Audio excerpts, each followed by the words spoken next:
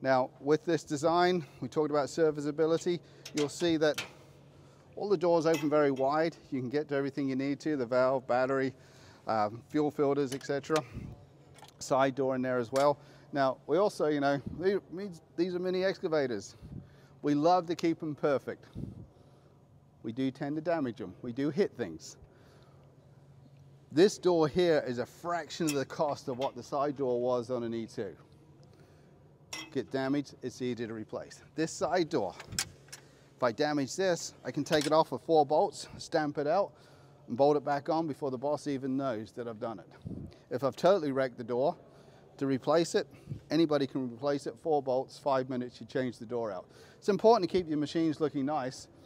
It's like when the guy, the landscaper, or the guy's gonna put the pool in your backyard, you see it's beat up equipment, it's like, man, what's he gonna do to my yard, my house, you know? See nice equipment, people wanna keep machines looking nice. Shows the quality of their company, and that's what we're all about in CAT.